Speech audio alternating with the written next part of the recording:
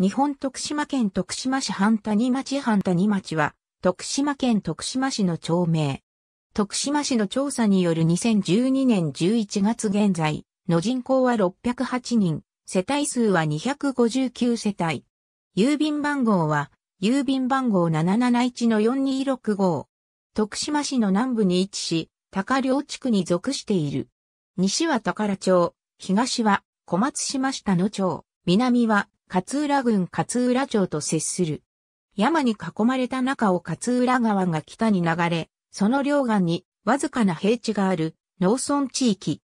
山の斜面では柑橘類の栽培が盛んであるが、生産過剰、外国産果実の輸入などによる供給過剰が起こり、価格の低下などの問題で生産者が悩まされている。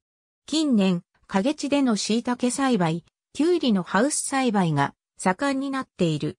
勝浦川支流の継承地として、鳴滝や七釜が有名で、勝浦川河原野でのキャンプハイキング鮎釣りなどで訪れる人は多い。勝浦川に沿って県道が通り、二つの潜水橋により対岸と結ばれている。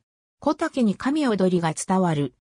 江戸期から1889年までは徳島藩領勝浦郡藩谷村が明治22年の町村制施行からは勝浦郡高両村の大技藩谷になった。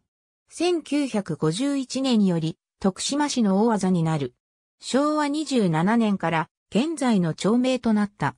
私立小中学校に通う場合、学区は以下の通りとなる。ありがとうございます。